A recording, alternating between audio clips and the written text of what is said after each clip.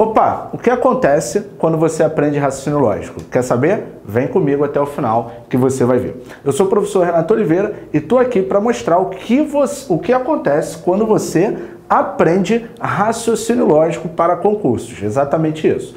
Mas, Renato, eu nunca aprendi isso.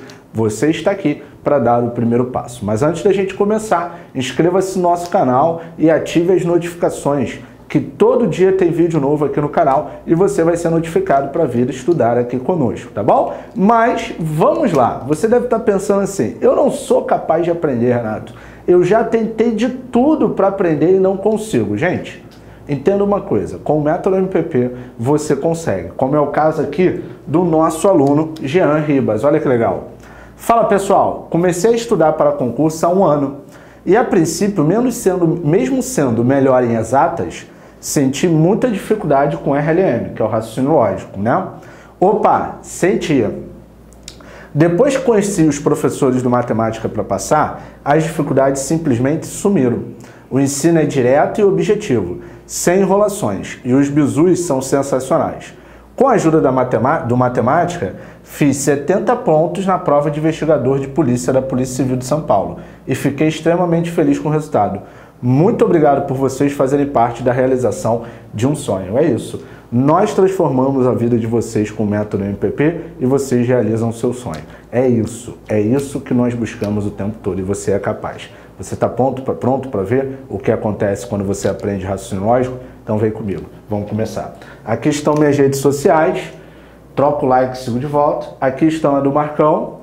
E simbora começar. Para ficar legal, baixe o material da aula que está aqui em algum lugar, que é assim, você baixando o material dessa aula, primeiro, você vai poder acompanhar a aula. Segundo, você entra para a nossa lista VIP e recebe conteúdos exclusivos, que só quem está na lista VIP tem acesso por e-mail, tá bom? Então, não perca tempo. Vamos lá? Vamos começar. Galera, primeira coisa. Para você aprender raciocínio lógico, você precisa ter um método, um passo a passo para você entender as coisas, porque com certeza você já pegou um livro e não entendeu nada. No método MPP, eu vou revelar para vocês a sequência que nós fazemos didática. Primeiro, vamos para a proposição simples, depois para a composta, depois tabela verdade, depois negação, depois equivalência, depois argumentação, e aí a gente começa a brincadeira com sequência, essas coisas todas. Tudo bem? Mas essa é a ideia da sequência do raciocínio lógico, tá bom? E cada uma dessas tem sua particularidade. E uma das maiores dificuldades que no, ao longo de 15 anos nós vimos aí nos alunos é identificar o que o problema quer. É uma das coisas que eu mais escuto. Para isso, nós criamos no método MPP o que nós chamamos de método dos 50. O que, que é o método dos 50? Pessoal, o método dos 50 consiste numa coisa bem simples, que é o quê? Só de você sublinhar, você já resolve 50% da questão. É isso mesmo. Só no que você sublinha, você já resolve 50% da questão. Mentira. Verdade. Por quê? O que é resolver 50% da questão? É você identificar o que o problema quer. Uma vez que você identifica o que o problema quer, pronto, já tem 50%, é só resolver. Perdão. Para isso, é muito simples. Você vai sublinhar o que é importante. Repete essa frase. Sublinhar para identificar. Repete. Sublinhar para identificar. Então vamos lá, vamos sublinhar. Considere a afirmação. Foca só aqui, ó. Se você trabalha, então alcance. Eu vou te falar o que é isso. A negação dessa afirmação, ele quer a negação dessa afirmação. Galera, negação é uma das partes do raciocínio lógico. E nós negamos os conectivos lógicos, as proposições categóricas também, mas aqui eu vou falar apenas dos conectivos lógicos. Por quê? São cinco conectivos. O e, o ou, tá? E, ou, o ou, ou, se então e o se somente se, como vem na frase. Nesse caso aqui apareceu o se então.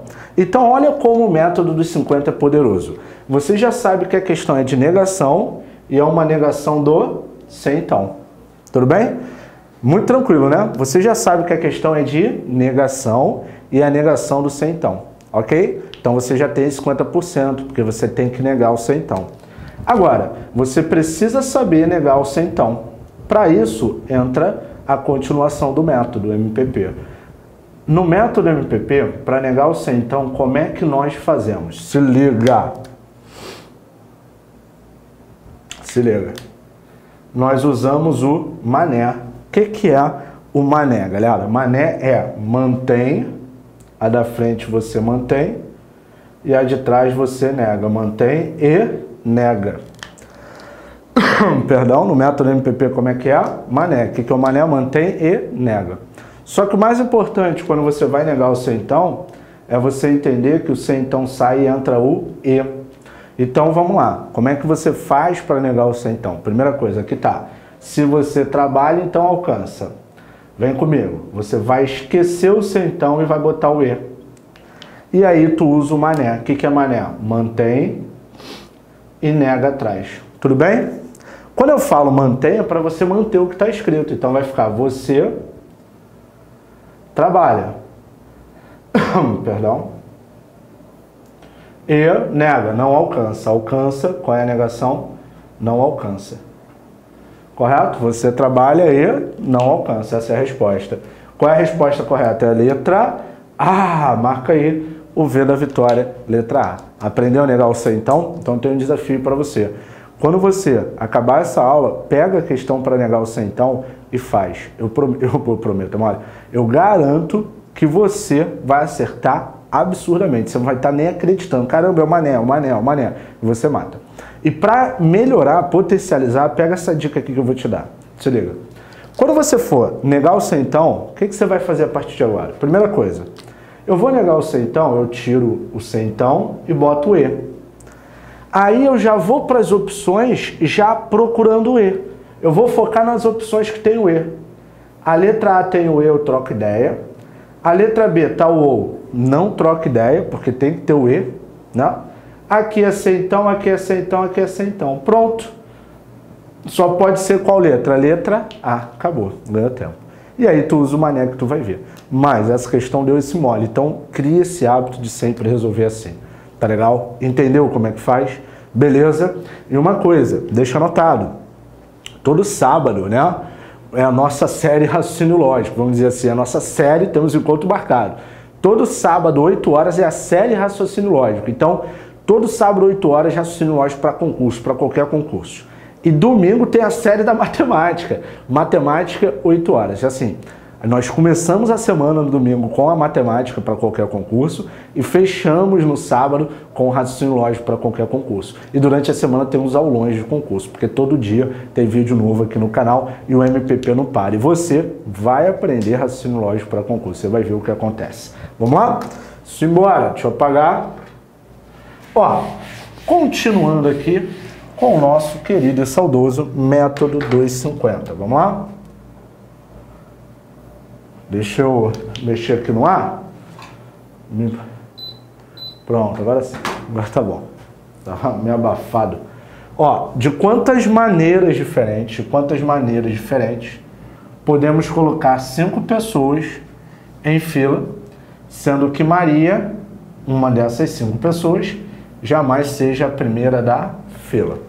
Galera, todo probleminha que quer montar em fila e pede número de maneiras, é um problema de análise combinatória, que é um assunto que cai direto em concurso público e em raciocínio lógico. Então, olha só, se liga. Aprendeu a identificar problema, análise combinatória, acabei de ensinar, e o método de 50 sendo aplicado novamente. Agora vamos resolver. Galera, se você quer... Muita gente tem dificuldade em análise combinatória, identificar quando é combinação, quando é arranjo, essas coisas, princípio de contagem. Aqui no método MPP nós não falamos arranjo, nós falamos princípio de contagem. Tá legal? Primeira coisa que a gente fala. Agora olha só, se liga numa parada. Você vai entender uma coisa. Se quer formar fila, não é combinação. Você vai fazer pela contagem. Tudo bem? Então vamos lá, sempre, sempre. O que, que você vai fazer? São cinco pessoas, eu vou fazer cinco traços. Tudo bem? E nesse tipo de questão, você tem que focar nas restrições. Sempre tem uma restrição maior. Nesse caso tem uma restrição maior. Qual é a restrição maior? Maria não é a primeira. Aqui, ó. A restrição maior. Maria não pode aqui. qualquer pessoa pode sentar aqui, menos a Maria, porque eu não quero que ela seja a primeira, tá? Essa é uma restrição maior. Então vou começar o problema por ali. Quantas pessoas eu tenho, galera? Cinco. Aqui pode ser a Maria? Não. Então quantas chances eu tenho para cá? Quatro, ou seja, quatro pessoas podem se sentar aqui. Tudo bem?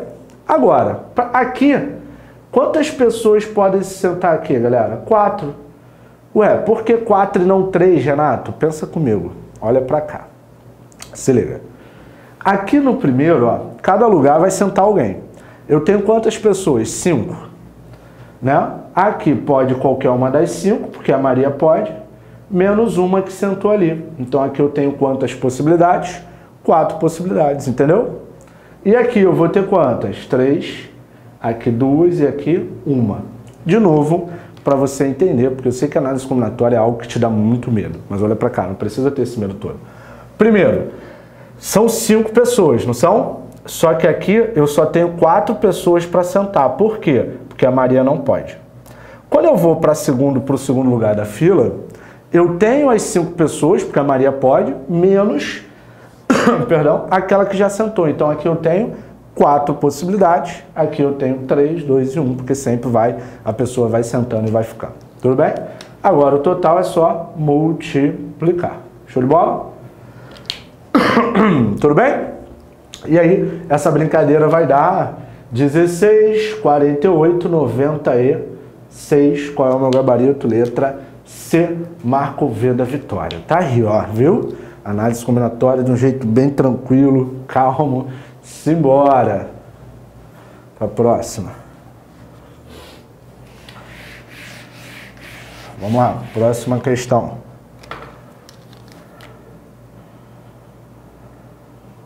Ó, Ricardo precisa escolher dois CDs de seu arquivo para tocar em uma festa. Ele tem um CD de rock, vamos sublinhar?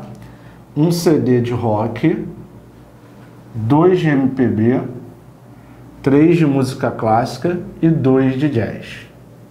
Se ele escolher dois CD aleatoriamente, qual é a probabilidade? Opa, método dos 50 aí. Questão é de quê? Probabilidade. Ai meu Deus, eu estou tremendo. Calma. Vamos lá, probabilidade de que os dois escolhidos sejam de jazz. Então, ó, os dois sejam de jazz ou de que um CD seja de MPB e o outro de música clássica. Show de bola? Então vamos recordar, recordar aqui o que é a probabilidade. O Marcão gosta muito de falar isso, ele tem total razão. Probabilidade, se você tiver com dificuldade, substitui por chance tá bom? Se você tiver com dificuldade, probabilidade substitui por chance. Show de bola até aí? Tamo junto? Agora olha só. Probabilidade é sempre o que eu quero sobre o total. Por exemplo, é, numa, numa prova, vamos supor aqui que tu não sabe essa questão, são cinco opções. Tu sabe que uma é correta. Qual é a chance? Tu não sabe, tu vai chutar. Qual é a chance de você chutar e acertar? Uma e cinco. Correto ou não? Uma e cinco. O que eu quero? Acertar uma no total de 5. Tranquilo? Agora vem comigo. Sabendo disso, eu vou separar todo mundo aqui. Ó.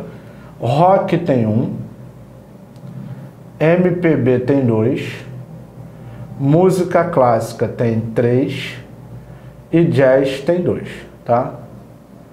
Jazz tem dois. Num total de quantos? 3, 6, 8. Um total de 8. 3, 6, 8. Show de bola? 3, 6, 8. Show? Tranquilo? Agora, pessoal, o que, que eu vou fazer? Eu quero a probabilidade de quê? De escolher dois, sendo que podem ser dois de jazz. Então, são dois de jazz, é jazz e jazz, né? Ou um de MPB e um de que? Música clássica. É isso que ele quer, tá bem claro, né? A probabilidade de que os dois escolhidos sejam de jazz, ou seja, jazz e jazz, ou MPB, um de MPB e música clássica. Galera, você tem que saber em probabilidade isso aqui, ó, que você multiplica e ou você soma. E você multiplica e ou você soma. Você precisa saber isso sobre a, essa parte, tá bom? Você precisa saber disso que você multiplique ou você soma. Então vamos lá. Vamos achar aqui primeiro jazz e jazz. Galera, probabilidade, como eu falei, é o que eu quero sobre o total. Quando eu vou meter a mão, qual é a chance de vir um de jazz? Perdão, 2 em 8. Correto ou não? São 2 de jazz em 8. Vezes, porque é E, e a gente multiplica. Agora, quando tu meter a mão novamente, tem um de jazz que já tocou, não vai tocar novamente. Então, você vai ter uma de 7. Correto ou não? 1 um de 7. Beleza? 10 de jazz, 2 em 8 vezes 1 em 7. Mais o ou é soma. Agora, 1 de MPB. Quantos de MPB eu tenho? 2, num total de 8. Por quê? Quando entra esse ou, isso daqui é um novo caso. Então, voltou tudo ao normal. Eu continuo tendo 8 lá, tá? 2 em 8, vezes música clássica. Quantos eu tenho de música clássica? 3 em 7. Só que tem um porém, o inimigo vai querer agir aí na tua prova. Por quê, galera? Se liga. Quando ele fala um de MPB e um de música clássica, ele não definiu quem é o primeiro e quem é o segundo. Então pode ser MPB música clássica ou música clássica MPB. Então aqui tem que multiplicar, no caso, por 2 fatorial, que é 2. Tudo bem? Ah, Renato, perdão. Deixa eu ver se eu entendi. Se ele não fala definir a ordem, tem que multiplicar pelo fatorial? Sim. Se forem três, dois diferentes, 2 fatorial. Se forem três diferentes, 3 fatorial. Se tiver elemento repetido, permutação com repetição. É isso que tem que ficar atento, tá legal? Mas isso é papo para outra aula, aqui são só dois, você pode pensar MPB e música clássica, música clássica e MPB, porque senão dá, se eu não me engano, lá no nosso módulo completo de racionais tem uma parte, um bloco inteiro eu explicando essas variações, tá? Multiplica por dois. Tudo bem? E agora é só resolver. Renato, eu tô com uma dúvida. Diga, quando você fez aqui jazz, o que eu quero? 2 em 8 vezes. Por que ficou 1 em 7 segundo? Porque já escolheu um de jazz. Então, se eu tinha 2, na segunda eu posso ter um para escolher. E por que ficou 7 embaixo? Porque se eu tinha 8, ficou quanto embaixo? 7. Show? Beleza. E agora, só resolver. 2 vezes 1 é 2, 8 vezes 7, 56. Mais 6, 12 sobre 56. Renato, eu tenho uma pergunta. Diga, por que você não simplificou? Bizu. Quando você estiver fazendo uma questão de probabilidade assim, não simplifica ninguém, porque os denominadores sempre ficam iguais e a soma fica melhor para mim, tá? Repete aí os denominadores, aqui dá quanto? 56. 2 mais 12 é 14. Devemos simplificar de vez em quando, de vez em sempre. Sempre. Vou dividir em cima e embaixo por 14. 14 dividido por 14 dá 1. 56 por 14 dá 4. Então, quanto dá isso daí? Um quarto. Qual é o meu gabarito? Letra B de bola. Marca aí o V da vitória na letra B. Simbora. Vamos lá? Vamos lá para a próxima. Deixa eu apagar aqui. E vamos seguir com o método de 50. aqui no método MPP. Simbora. Vamos lá? Simbora lá, ó. Uma sentença logicamente equivalente, ó é uma sentença logicamente equivalente. Ah, se Ana é bela, então Karina é feia. Se Ana é bela, então Karina é feia. Foca no conectivo. E uma coisa importante. Olha como o método de 50 ele é muito poderoso.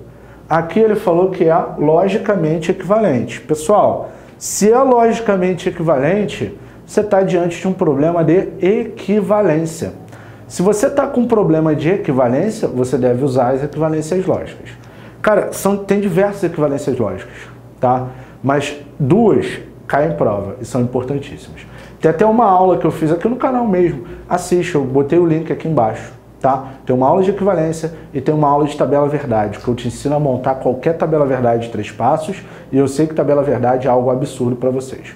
E como eu falei, o que acontece quando você aprende raciocínio lógico? Essa não é o tema, a nossa aula, eu estou te mostrando o que acontece, você fica mais feliz e tal. E se você quer realmente aprender, eu vou te falar o passo a passo que você tem que fazer. Primeiro passo, está inscrito no canal e ativar as notificações e seguir a nossa série sábado, toda, todo sábado, aula de raciocínio lógico. Segundo passo, ir na assistir essas aulas que eu falei que estão aqui na descrição e ir na playlist Raciocínio Lógico para concurso. Você indo nessa playlist, você vai ter muito conteúdo de raciocínio lógico, então vai começar. E o terceiro passo é para chegar no próximo nível. Vir estudar pelo nosso módulo completo de raciocínio lógico, mas isso eu falo mais à frente. Então vamos lá. Já sei que o problema é de equivalência. Se liga. Problema de equivalência. Gente, são duas equivalências que vocês têm que saber. E as duas equivalências, elas relacionam o então. Eu vou fazer as duas aqui para você entender. Nega tudo e inverte. E a equivalência 2. Essa é a equivalência 1. Um, e aqui está a equivalência 2. A equivalência 2 a gente chama do Neymar. O que, que é o Neymar? Nega na frente, muda pelo ou e mantém atrás, tá legal? Você nega da frente, muda pelo ou mantém atrás. Repara, a equivalência 2 tem troca de conectivo, tá bom? Tem que mudar o centão para o. Exemplo prático, olha para cá. Deixa eu fazer um exemplo prático aqui para você aprender, tá? Com isso aqui, tu vai resolver muita questão, tá? Vamos lá. Se A, então B. O nosso intuito é que você aprenda raciocínio lógico para o concurso, porque ensinar já te ensinar e adiantou muito. A gente quer que você aprenda e transforme a sua vida e realize seu sonho. Vamos lá? Se A, então B. Vamos lá, equivalência 1, galera. A equivalência 1, como é que fica a equivalência 1? É o negativo inverte, você não muda o conectivo. O C, então, ele permanece na parada o que você faz é negar todo mundo e inverter. O que, que é isso? O B, você tem que negar e inverter. Vem não B. E o A, vem não A. Fica se não B, então não A. Tudo bem? Essa é a equivalência 1. Agora nós vamos usar a equivalência 2. A equivalência 2, como é que vai ser? Se A, então B. O que, que eu vou fazer na equivalência 2? Primeira coisa, eu venho aqui tiro o C então e boto o ou, e uso o Neymar, boto o Neymar para jogar. Nega, mantém. Nega, não há, mantém B. Não há o B. É isso. Equivalência 1 e equivalência 2, você acabou de aprender como usar as duas. Mas, Renato, e o sentido semântico? Gente, eu quero ser, eu sou teu amigo. Larga o sentido semântico, porque não é português, é raciocínio lógico. Você tem que seguir. Ah, raciocínio lógico para mim, pô, pensei que era uma coisa lógica. Tem que decorar essas regras. Gente, Segue que eu estou te falando que tu vai se dar bem. Você não quer aprender, ser aprovado, transformar a sua vida e realizar o seu sonho? Né? Eu sempre falo que o método MPP transforma a vida das pessoas e assim transforma o mundo, porque o mundo é, as pessoas vão estar mais felizes e o mundo é muito melhor com pessoas felizes, não é verdade? Você quer do seu lado aquela pessoa que vive reclamando? Não quer. Então é isso que nós focamos. Então segue. É, a frase é máxima, apenas siga o método, tá? Tudo bem? Agora vamos lá, vamos para a frase. Renato, beleza, eu aprendi a identificar aqui a equivalência. Eu aprendi a usar as duas equivalências, mas como eu vou saber qual das duas usar? Perdão? Bate o olho na resposta. Tem ou, tem sem então, né? Galera, bisuzaço. Sempre começa usando a equivalência 1. Você vai começar usando a equivalência 1. Se tiver a resposta, você marca. Se não tiver, você usa a equivalência 2 que vai ter. Então vamos lá. Vamos usar a equivalência 1 aqui. Nega tudo e inverte. Você então vai continuar. Ana é, se Ana é bela, então Karina é feia. Como é que vai ficar? Se Karina não é feia, então Ana não é bela. Pronto, neguei tudo inverti. Ó. Se Karina não é feia, então Ana não é bela. Vê se tem. Tem na letra E, ó. Se Karina não é feia, então Ana não é bela. Pronto. Marco V da vitória, letra E. Show? Tranquilo? É óbvio. Depois que você aprende isso, faz isso muito rápido. Porque tu nega tudo e inverte. Se Karina não é feia, então Ana não é bela. Pronto, letra E. Só que eu precisava te mostrar isso, tá? Porque o meu intuito é que você aprenda. E agora, pode pegar a questão de equivalência, usar isso que eu te ensinei, que tu vai acertar tudo. Tá bom? Vai acertar, teu crescimento vai ser absurdo. E entenda uma coisa, duas coisas que eu sempre falo para os meus alunos. Você gosta de ler livro? Gosto. Mas ler livro por ler é melhor não ler. O que é ler livro por ler? Você lê o livro por ler, vai lendo ali, não vai anotando nada, não vai fazendo suas anotações, não vai estudando.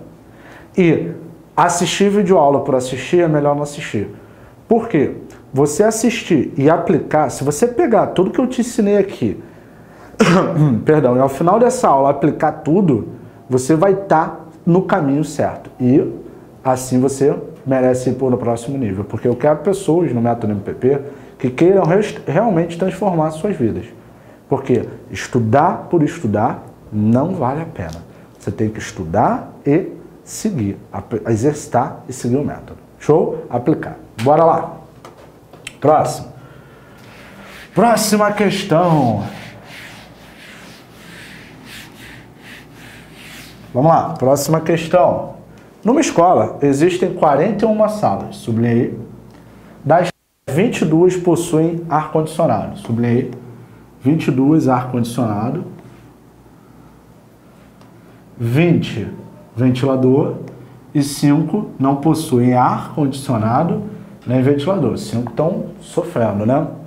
Quantas salas dessa escola possuem os dois tipos de aparelho? Opa! Renato, eu tenho maior dificuldade de identificar. Eu acho que nessa aula você já viu que o método de 50 veio para isso.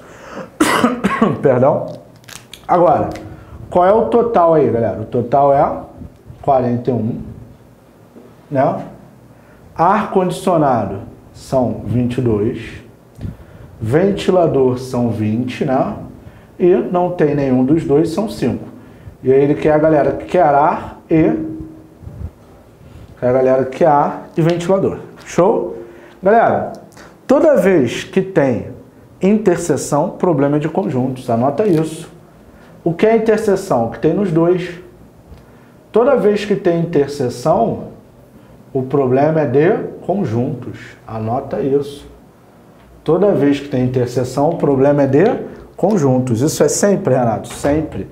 Tem interseção, então o problema é de conjuntos. Tudo bem? E eu tenho, olha o que eu vou te ensinar aqui, galera. Isso daqui é sensacional. Você provavelmente já estudou conjuntos, montou o diagrama, realmente. Eu também ensino você a montar o diagrama, porque você precisa. Mas quando tem que encontrar a interseção dos dois conjuntos, é muito rápido. Olha o método MPP, o que, que você vai fazer? Sempre que for para achar a interseção com dois conjuntos, olha o que você vai fazer. Você vai fazer isso aqui, ó. Primeiro, você vai esquecer o total e vai somar todos os valores que tem aqui. Ou seja, você vai somar 22 com 20 com 5, que dá 47. Você vai somar 47. Deu 47, não deu? Você vai esquecer o total e somar geral. Deu 47, não deu? Agora, olha que legal. Para você achar a interseção, você vai pegar esse valor da soma aqui, que é o 47, e diminuir do total, que é 41. Acabou. Qual é a interseção? Quantos fazem os dois? 6. Gabarito, letra B. Marco V da vitória. Renato, isso daí dá certo sempre, só toda vez que você quer achar a interseção de dois conjuntos. Pode fazer sempre. Caraca, eu montei o diagrama, veio com X, nada contra. Tá feliz fazendo isso, continua, não precisa mudar. Agora, se tu acha que tá sofrendo muito, muda. Isso em tudo na vida. Tá feliz fazendo a parada? Segue, pá, sem problema. Tem que estar tá feliz fazendo as coisas. Agora, não tá feliz, muda. Então, se tu não tá feliz, muda agora mesmo isso. Aprendeu. Acha interseção em dois segundos e marca o V da vitória. Show de bola? Tranquilo? Beleza, então vamos para a próxima. Não tem mais próxima. Fechamos aí. Fechamos o nosso aulão. Caraca, tava tão legal. Tava tão legal porque você viu o que acontece quando você aprende raciocínio lógico. É isso que acontece. Você fica querendo mais. Agora, se você quer mais, você pega, faz o que eu te falei para assistir na aula, né? Que assim você vai estar tá começando a melhorar o teu raciocínio lógico para o concurso. E o que acontece quando você aprende é que você fica mais feliz e consegue ser aprovado. Não fica mais dependendo dessa matéria para transformar. Agora, o terceiro passo, que é para você ir para o próximo nível e decolar literalmente, é você estudar com o método MPP num passo a passo, comprovado por milhares de alunos, que é o nosso módulo completo de raciocínio lógico. Faz uma coisa, aqui em algum lugar tem o um link do nosso curso, clica e vem assistir uma aula do nosso curso. Você vai ver como é, diferente daqui. Aqui foi questão, eu te expliquei e tal. Lá não, eu vou te dar a teoria, vou aplicar, porque o método MPP é 20% para teoria, 80% para exercício, e depois a gente vai fazer muito exercício, muito exercício. E além disso, você vai ver casos de sucesso dos nossos alunos e mais três bônus que estamos oferecendo, lidando. Oferecendo não, estamos lidando. Então, clica aí, assiste a aula, eu te espero no nosso curso, módulo completo de raciocínio lógico, tá bom? E agora a mensagenzinha, né? Comece de onde você está, use o que você tiver, faça o que você puder. Então, ó, você tem que começar agora mesmo, onde você está, usa aquilo que tu tiver, cara. Papel e caneta na mão, tá valendo. E faça o que você puder. Show de bola? Tranquilo? Então, deixa anotado aí. É a nossa série Raciocínio Lógico e a série Matemática. Todo sábado, 8 horas da noite, raciocínio lógico para concurso. Mas sábado, 8 horas da noite, Renato, eu tô na festa. Aí é contigo, não é comigo. Você tem que saber o que você quer para sua vida, qual é a sua prioridade. Mas não tem nada. Se você não assistiu 8 horas, fica disponível o vídeo, tá? Assista, tá? Então, ó, todo sábado a série Raciocínio Lógico para concurso e todo domingo a série Matemática para concurso. Amanhã tem matemática para concurso, então estou te aguardando tudo 8 horas da noite. E todo dia tem vídeo novo no canal, então inscreva-se no canal, ative as notificações e você viu o que acontece quando você aprende raciocínio lógico, fica muito melhor no seu concurso, né? Valeu, galera, um beijo, até a próxima.